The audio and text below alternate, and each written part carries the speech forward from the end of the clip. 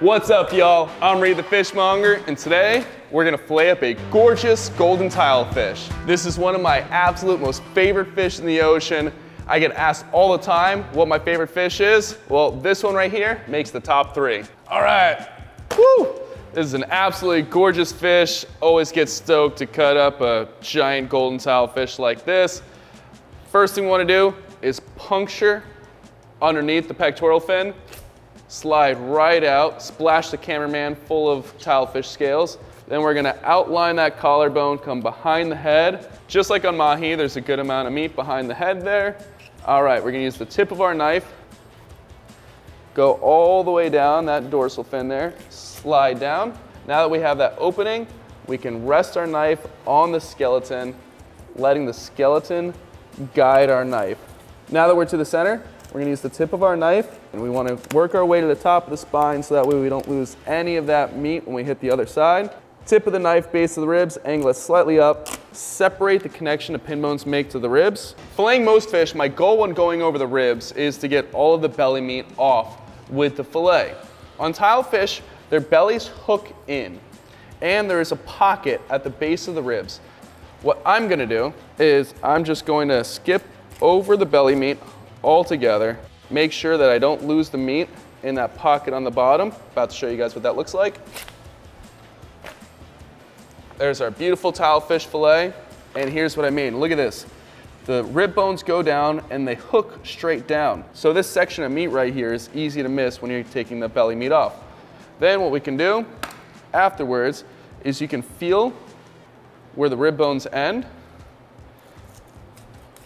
Just go right there, and there you go. You did not lose out on your golden tilefish belly. You just took it off afterwards. And you got a perfectly polished off skeleton right there. Let's flip it over and repeat the process. Pick up the fin, like the handle that eyeball gives me. Go behind the head at an angle, come all the way down, right in front of that pelvic fin, behind the pectoral fin. Now we're gonna roll them over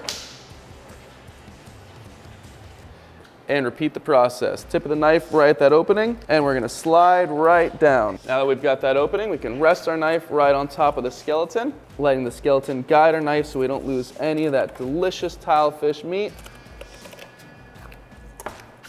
All right, now tip of the knife, work our way to the top of the spine. Two reasons. That way, we can hit the second side without losing any of the meat. Second reason, so that way there's no tear in the meat while we pull on the head more. We're gonna skip right over that belly meat again. Ugh, no rib bones in our filet we skipped over the belly. All the rib bones are right there. Find the rib bone with your finger, cut right in front of it. You got all the tilefish belly. On these big golden tilefish, what you really don't want to lose out on is that cheek meat. Just like grouper, there's phenomenal cheek meat. You can feel with your finger where the bone is and then where it gets soft. And you want to trace that line. And the meat hooks underneath the lip, so you just want to work your way underneath the lip just like that. Keep outlining that head. Use the tip of your knife so that way you're scooping into the meat and not losing any of that delicious cheek meat. Don't want to work my knife into that hook right there. You guys can see, check that out. So on these tilefish cheeks, they're broken into two parts. And you want to make sure that you release the whole thing before you start pulling on it. Otherwise, you'll separate those two parts and you can kind of see it right here. I don't know if the camera can pick up on it, but you've got this piece, then you can see that cut. That's not from the knife, that is the natural separation of the two parts of the cheek. So you want to make sure that your finger is underneath that top one. And there you go. That is a fat golden tilefish cheek, and you can see where that top part lays on top of that bottom part. It's really neat. There's a gorgeous golden tilefish cheek right there. That is a phenomenal cut of fish. There is good collar meat on these tilefish you don't want to miss out on, especially when they're larger fish. So there's a couple different approaches. We could remove the whole collarbone, which I'm partial to. That way you make sure you don't lose any meat at all. But if you're at a hurry at the dock space and you don't have time to remove the whole collar, you don't have time to mess with it, at least do this. Find the collarbone. You can feel it with your finger.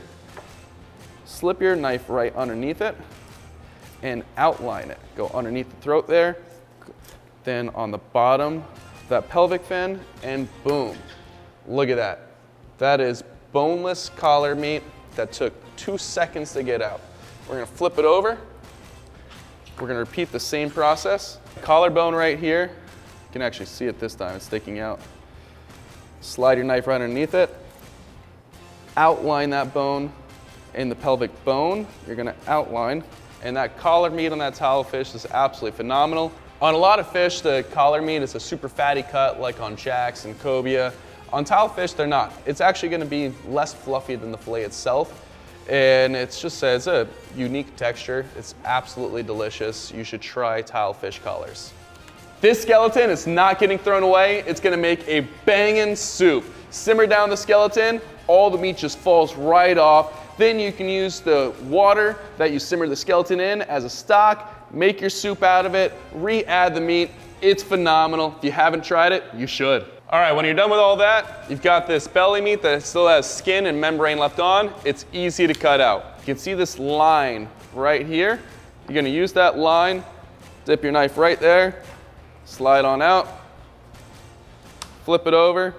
So you wanna have a flat knife. You don't wanna have your knife angled down, otherwise you'll cut through that delicate membrane easily. There's your belly. Do the same thing to the collars. You can see that little dip. Get underneath the membrane, flat knife. There we go. No meat left on that membrane. Let's get to these fillets. How I'm gonna cut up these fillets is I'm gonna go right there. Then we're gonna follow that pin bone line down. This right here, the low loin at the top of the fillet. Then we've got the upper high loin of the golden tilefish. This right here is considered the Rolls Royce of the fish. Skin on for grilling. I even have some chef friends that leave the scales on golden tilefish. They pour hot oil on the golden tilefish skin. The scales puff up and they're brittle enough to actually eat and it's apparently it's phenomenal. I haven't tried it yet. If you've tried it, comment below, let me know what you think. Or if you want to saute in a pan and you don't want to fuss with the skin, it is easy to take off. At the head, there's a natural separation right there. Want to get our knife underneath and slides right off. Look at that. You see the nice fattiness inside of that fish. It's phenomenal.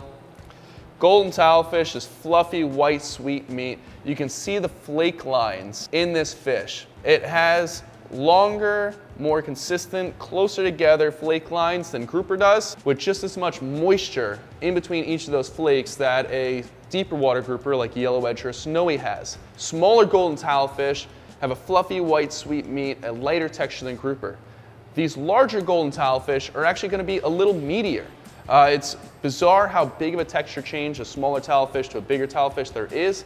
These larger ones are the reason why people compare tilefish to lobster meat. I still think that is a ludicrous comparison. Tilefish tastes nothing like lobster. It does not have a lobster flavor profile. It is just as white and mild as fish gets, whereas lobster has a strong standalone flavor. Golden tilefish, when I prepare this, I do nothing but salt and pepper and picking up on the diet of the fish. Cheeks, throat, upper low loin, upper high loin, the rest of the filet, boneless, skinless belly, boneless, skinless collar. You guys, let me know which one you would reach for first. I'd love to hear your answers. For me, I'm gonna have to go basic and go for the upper high loin. This thing cut into sections, pan roasted, whew, phenomenal but don't sleep on those odd cuts either. You guys, thank you so much for watching. Hope you all have a killer day.